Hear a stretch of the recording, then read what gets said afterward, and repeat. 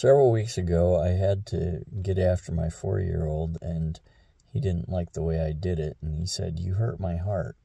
Well, a couple of maybe a week later, um, I was getting really upset with one of my other kids, and he looked at me and he said, They hurt your heart.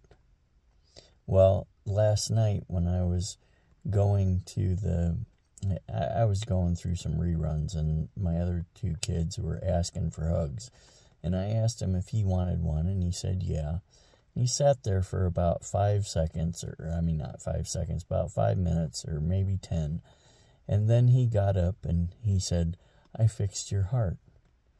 And I said, You fixed my heart? And he said, Yeah. Hugs. They fix your heart.